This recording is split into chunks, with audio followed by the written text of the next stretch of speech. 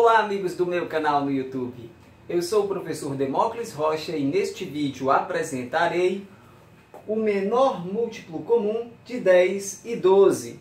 Calcule o menor múltiplo comum de 10 e 12. Professor, como calcular? Eu ainda não sei. Calma, eu vou te ajudar. Nós começamos fazendo assim. Escrevemos o 10 e o 12 e usamos uma vírgula só para separá-los. A gente coloca um tracinho do lado direito e a partir daí a gente testa a divisibilidade desses números pelos números primos. Talvez você esteja pensando aí, professor, mas eu não lembro quais são os números primos. Eu vou te ajudar. Os primeiros números primos são 2, 3, 5, 7, 11 e por aí vai. São infinitos números primos. Os primeiros são esses aqui. Bom, professor, o senhor disse que a gente vai testar a divisibilidade desses números pelos números primos. Exatamente. Como é que eu vou fazer isso, professor? Você vai perguntar para si mesmo. Algum desses números é divisível pelo primeiro número primo, ou seja, pelo 2? Você vai dizer que os dois são divisíveis por 2, porque todo número que termine em 0, 2, 4, 6 ou 8 é divisível por 2. Esse termina em 0, esse termina em 2. Então, os dois números são divisíveis por 2. Ok, professor, então o que é que eu faço? Bom, você escreve o 2 aqui na coluna da direita.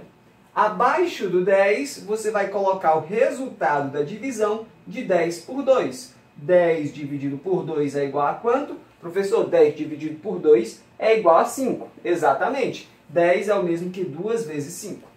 Ok, a gente coloca a vírgulazinha para separar e faz a mesma coisa com o 12. 12 dividido por 2 é igual a quanto? Você vai dizer, professor, 12 dividido por 2 eu sei. É 6. Exato, 12 é mesmo 2 vezes 6. Agora, a gente tem os números 5 e 6. E a gente faz a mesma pergunta. Algum desses números é divisível pelo primeiro número primo, ou seja, pelo 2? Algum deles é divisível por 2? O 5 não é, mas o 6 é. Então, a gente escreve o 2 aqui na coluna da direita. Como o 5 não é divisível por 2, a gente só repete. Agora, o 6 é divisível por 2. 6 dividido por 2 dá quanto? Dá 3, professor. Então, você escreve 3 abaixo do 6. Quais são os números que a gente tem agora? 5 e 3. Claramente, nenhum deles é divisível por 2. Mas o 3 é divisível pelo próximo número primo, que é o próprio 3. Então, a gente escreve 3 na coluna da direita.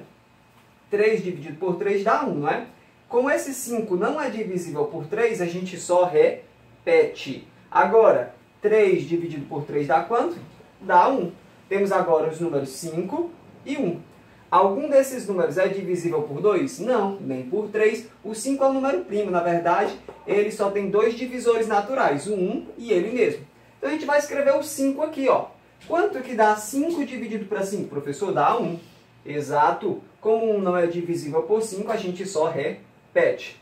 Essa parte acabou. Como eu sei que acabou, professor? Porque no pé de cada coluna da esquerda temos o número 1. Quando isso acontece, essa parte acabou. E o que é que eu faço, professor, agora? Você multiplica todos os números que aparecem na coluna da direita. Então vamos ter quanto?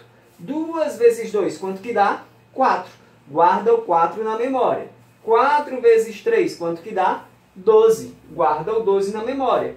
E agora você vai multiplicar 12 por 5. Professor, mas eu não sei quanto que dá. É fácil, cara. Vamos fazer aqui no cantinho. Ó. 12 vezes 5. 5 vezes 2 é 10, fica 0 e vai 1. 5 vezes 1 é 5, com mais 1 é 6. Então, 12 vezes 5, quanto que dá? Dá 60. Conclusão, o MMC, o menor múltiplo comum, a 10 e 12 é o número 60. Se você for analisar os múltiplos de 10, quais são eles? 10, 20, 30, 40, 50, 60. Se você for analisar os múltiplos de 12, você vai ter 12, 24, 36, 48 e 60. 60 é o menor número que é um múltiplo de 10 e também é um múltiplo de 12 ao mesmo tempo. É por isso que a gente escreve assim, ó. O menor múltiplo comum de 10 e 12 é igual a 60. Gente, eu espero que vocês tenham gostado desse vídeo. Eu também gosto de produzir esses vídeos. Se você gostou, clique em gostei. Um abraço e até a próxima. Tchau!